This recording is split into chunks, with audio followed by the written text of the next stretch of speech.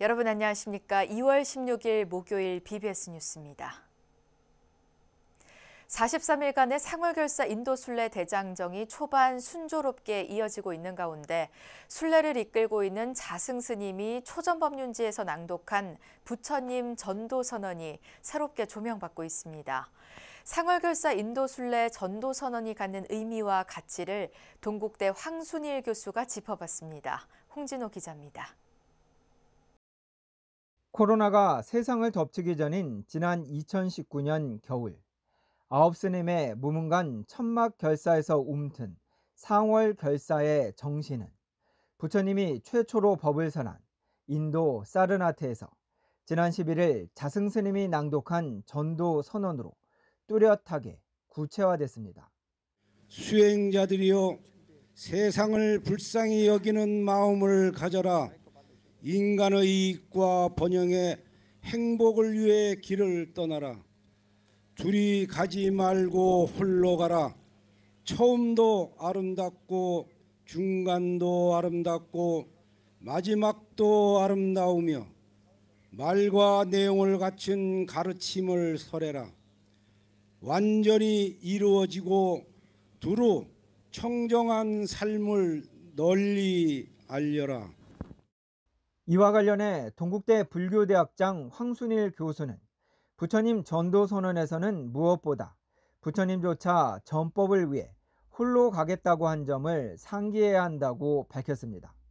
첫 설법을 위해 맨발로 걸어왔던 먼 길을 다시 홀로 돌아가겠다고 한 것은 그때나 지금이나 전법은 시급함과 절박함을 바탕에 두고 있다는 겁니다.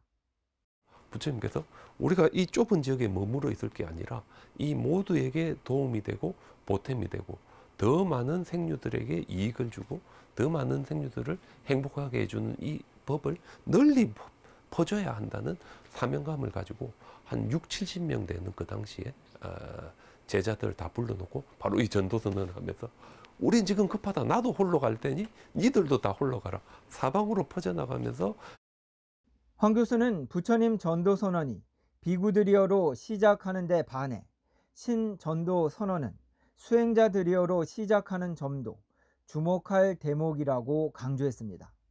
부처님 전도 선언 당시 여성 출가자는 없었고 윤회 전통에 기반해 제가자의 역할 또한 미미했다며 이는 사부대중 모두를 차별 없는 전법 주체로 강조해온 상월결사 정신이 반영된 것으로 볼 수 있다는 겁니다. 차 마시고 신선 노름할 이 나이에 예. 온갖 또 안티들로부터 공격받고 욕 먹어가면서 예, 이러고 있습니다. 이것은 단순한 문제가 아니고 우리가 같이 해결해야 될 문제예요. 그래서 내가 상월선에서 첫 일성이 사부대징에 함께하는 불교를 해야 된다. 황 교수는 인도에서 순례는 산스크리트어로 띠르따, 야뜨라라고 하며 피안의 세계로 가는 과정을 뜻한다고 설명했습니다. 티베트와 네팔 불교로 이어진 이러한 의미는 곧 불교 순례 또한 단순히 부처님의 성지를 방문하는 것이 아니라 깨달음을 향해 나아가는 수행이라고 강조했습니다. 우리 불교에서도 순례라는 것은 이 윤회의 바다에서 우리가 아, 피안의 세계로 넘어가는 과정이라고 할 수 있습니다. 그죠?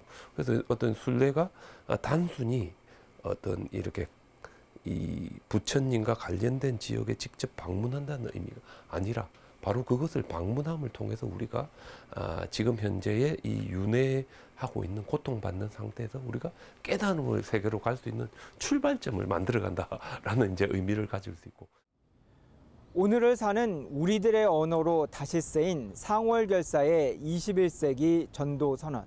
우리 불교는 지금 이 순간에도 부처님이 걸었던 길을 따라 불교 중을 향해 나아가고 있습니다.